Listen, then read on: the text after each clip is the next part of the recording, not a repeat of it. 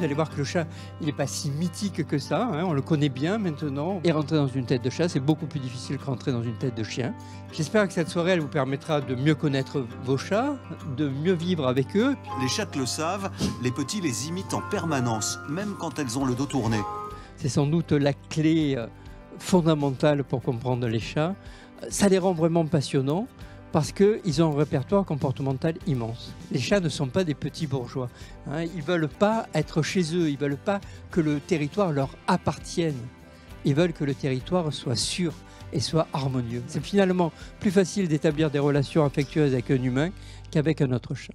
Est-ce qu'on peut savoir si notre chat nous aime? Hein, C'est joli comme question. Surtout, n'oublions pas, vivre avec un ou des chats, c'est un plaisir fou.